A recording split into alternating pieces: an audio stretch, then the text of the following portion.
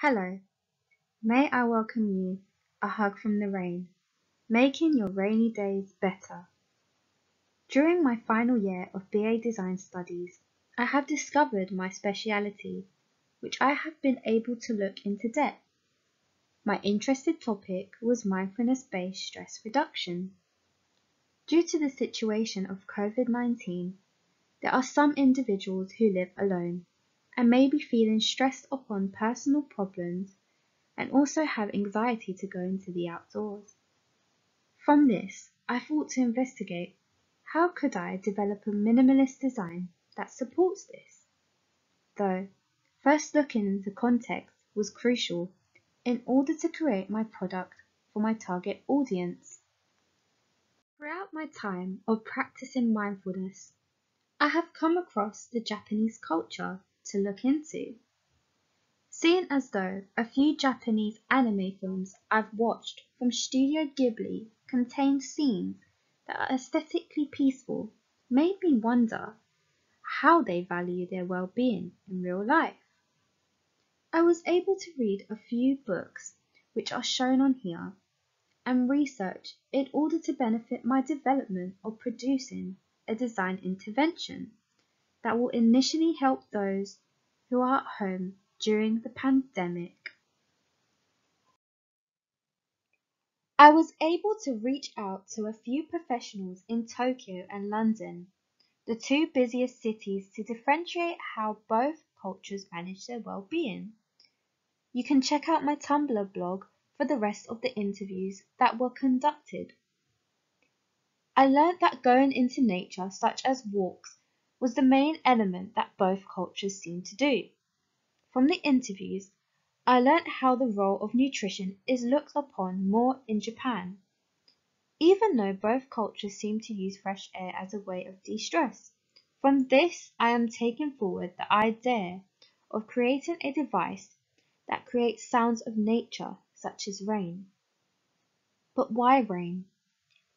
Rain has therapeutic benefits such as boosting moods and a perfect way of personal reflection. This is also rhythmic and known as pink noise, which is a soothing background noise which intends to calm us down.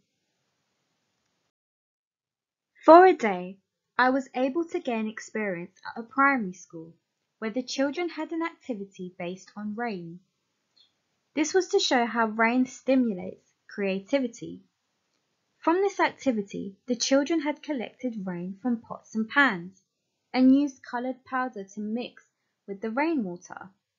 This activity was enjoyable to release creativity. From this, it gave me an idea that maybe I could focus on the aspects of colors too. This therefore showed, from a young age, rain benefits human development by being exposed to different sensory experiences, as there are so many sights, sounds, smells, touches to be experienced, which helps to improve general connection with nature. This is a conceptual idea of nature in the box. I want to create a product that makes you feel as though nature is with you. It would be sensory and visual.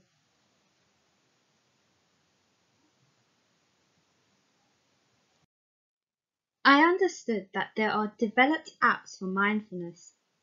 As I tried using the Headspace app, most of these contained activities and sounds that you'd listen to. I saw that there were rain audios, meditation sessions, though I thought that even though they are beneficial for mental health, what if we don't want to use our phones? Some of us want to have space from our phones. Therefore, I wanted to develop a physical object where you can interact with and feel connected with it. As a designer, I feel as though there isn't much physical objects developed for anxiety, as they are mostly apps. Therefore, this could be the start of it. My first idea was to create three boxes. A rain box that creates sounds of the rain from using mechanism, a light box that reflects patterns to captivate the person who uses it.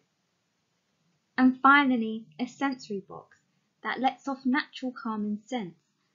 The three boxes would initially work together as a family, and this could be placed on a table, desk, or shelf. There would also be hand size so that it would not take up so much space. The rain box would be 14 by 14 with a rotational mechanism device that turns the tube with the granules to create the rain sounds. However, I was not satisfied with this outcome as I struggled to create the sound because the mechanism was slow and was not compatible with the timing, which was therefore not successful at making the light rain sounds. I thought about developing something interactive and comforting instead of operating it. If I wanted something sensory, keeping it interactive would be beneficial. For the scented box, I experimented using essences and plain wax candles to captivate calming scents. The smells would be let off naturally, which would help distract the person's thoughts. For the light box, I wanted this to reflect specks, which would create a mesmerizing, captivating effect that will reflect patterns. I knew I wanted to use iridescent materials as this color is mesmerizing and also we don't exactly know the color of rain. This material was a perfect example of showing this representation.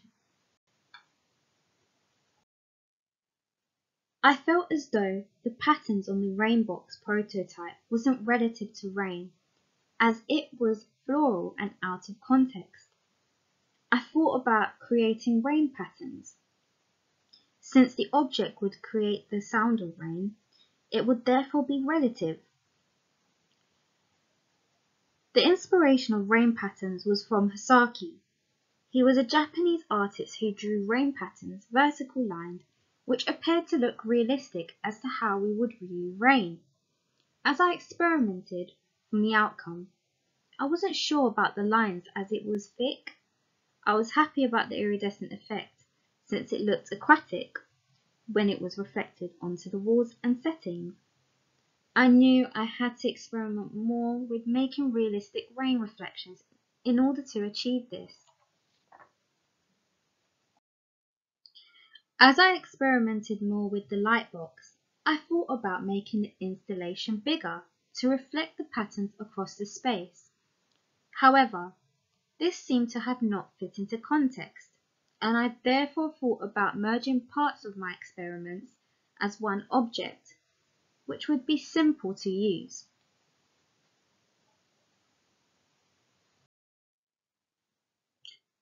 From these prototypes, it has helped me learn what fits into context clearly. I discovered the design errors. It helped me understand what materials are essential to communicate what I'm trying to show, whether it is effective or not. I was able to test the design's correctness before it came into production. My final idea was to create a 14 by 14 box that is interactive, sensory, by using materials that emulate the sound of the rain. This would be hidden into two parts of the box. On the inside would contain LED light which reflects rain patterns across the room.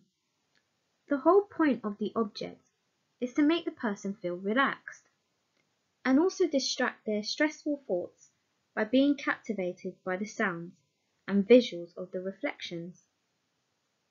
This object can be placed on a table or shelf to reflect the lighting and also be held by hand in order to interact with so that it can make the sounds. This is a mood board which helps me to bridge the gap between the language and visuals, which establishes the name of the object. This supported me to look back on as a motivation, to make sure my object would express the theme shown on the board. and not lose its meaning. For my target audience, this would be for individuals who find comfort in rain. This object can be used in a dark setting where you prefer to lie down or sit up and use the object to interact with. For the branding of my product, I wanted to link this with the branding archetype of the caregiver. This archetype is identified as being caring, nurturing, and reassuring. The name, A Hug from the Rain, associates how during lockdown, some of us can't have human interaction of hugging. The feelings that the box would give when using it would create the same effect. I wanted the theme to be minimal and grey to appear neutral to target both genders. Minimalism offers less stress, less distraction, more freedom towards the object. I feel that less is better because it concentrates on the essential parts and the product would not be burdened with non-essentials. I developed an instruction manual which contains information about the box on how to use it, what it is, and its use.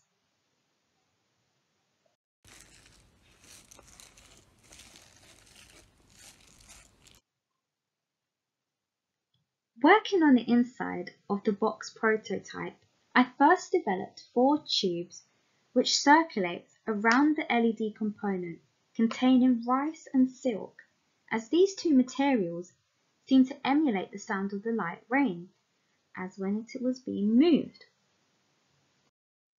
To refine this, I then created a layer underneath my prototype which contains materials and granules that emulate the sound of the rain as we slowly move the box as I wanted it to be hidden.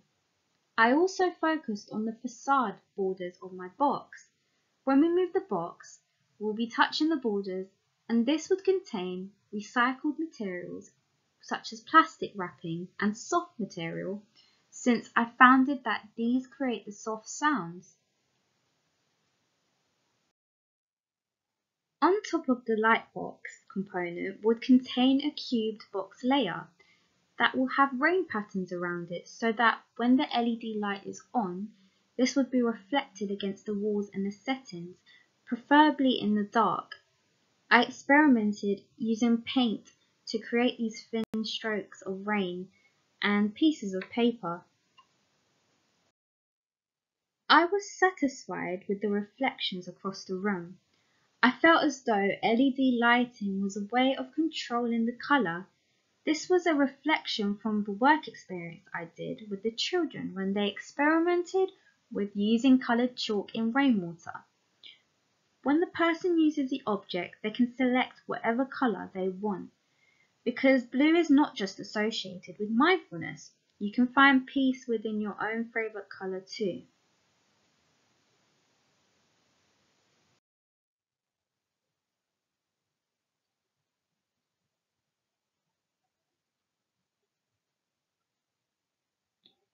Mindfulness gives us time to have personal reflections. I wanted to add two additional pages to the instruction manual where the individual can write their thoughts and also draw rain as a way of creativity. Therefore, the person would form a connection with the box, as this would create a sense of comfort and feeling at home with the object. Inside the packaging will contain an instruction manual and one of the pages are based on color control. This allows the person to choose whatever color they desire and want. This would also advise and inspire them to select a color that will make them feel calm.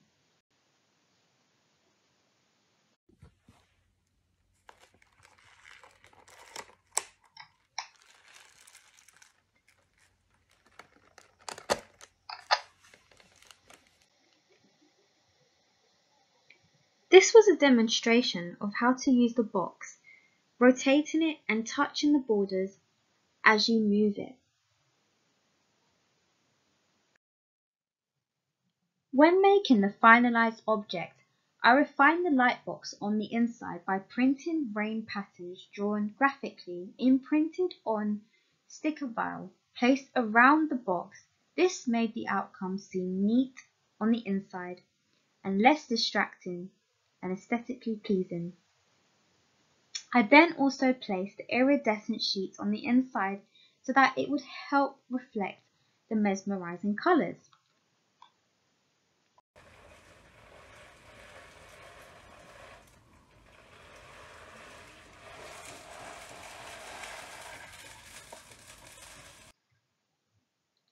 As you can see, I made a layer of the box and the borders of the box with balsa wood and painted it in black.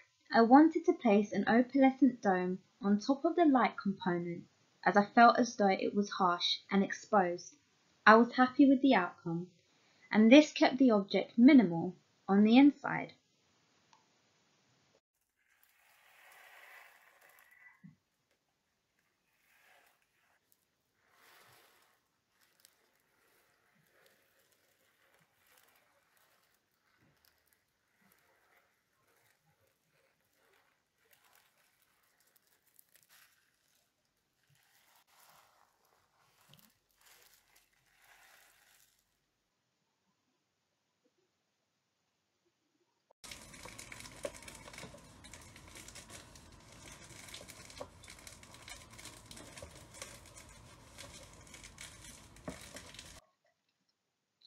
I contained a border with plastic and soft materials which emulated the sound of the rain.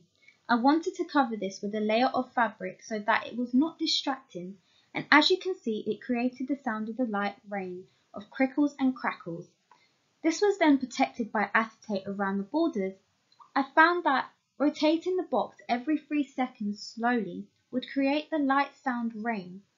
Therefore, this information would be illustrated in the instruction manual.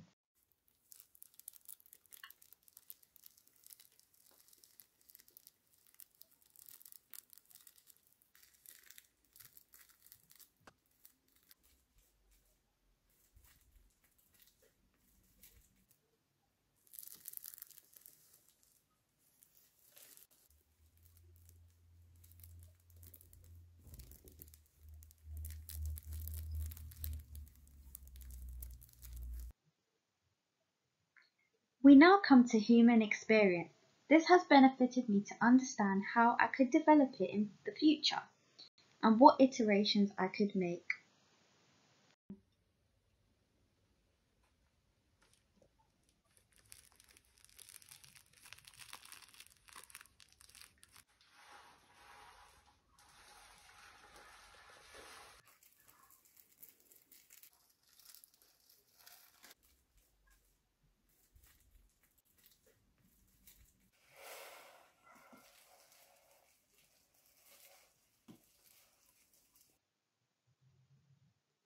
Really like Hug from the Rain because it made me feel so calm.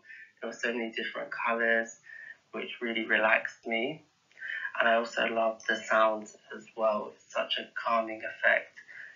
I think in the future to develop the Hug from the Rain, it would be fantastic to see maybe a different iteration in the form of a hug from the ocean.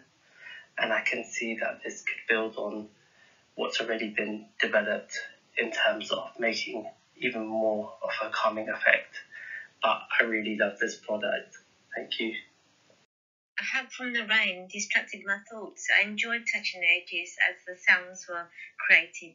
I prefer this compared to a mindfulness app and videos, as this is interactive and physical. There should be more of it.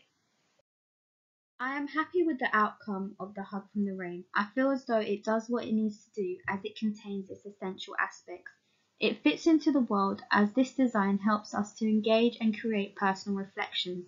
And due to the worldwide pandemic, according to the BBC, mental health problems have worsened across all age groups in the past year. I feel as though mental health isn't really spoken much about within design itself, and I therefore would hope to look into developing designs that will benefit those who are going through stress and anxiety, as everyone deserves peace and comfort in the busy world we live in. Love from A Hug from the Rain. Thank you.